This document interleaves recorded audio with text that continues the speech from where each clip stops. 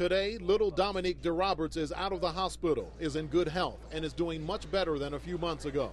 It is video that has been seen around the world. September 28, 2011, Verde Elementary School in Boca Raton. Six year old Dominic DeRoberts was walking into the school when he was run over by a car. The boy was trapped under the vehicle. When Boca Raton police and a community service officer arrived, they sprung into action. With the help of others, they lifted the car. Dominic's grandfather pulled him to safety. Wednesday afternoon, the officers were recognized for their efforts. Dominic's father says he is thankful they came to the rescue. I would just like to say that I'm truly humbled to be in the presence of uh, you guys are heroes to me. None of us could have done that alone.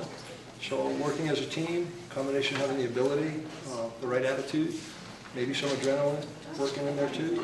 It, it just it worked. I've been telling people, you know, we got lucky. We're at the right place at the right time. You know, we had the right combination of guys out there, and like I said, we got lucky.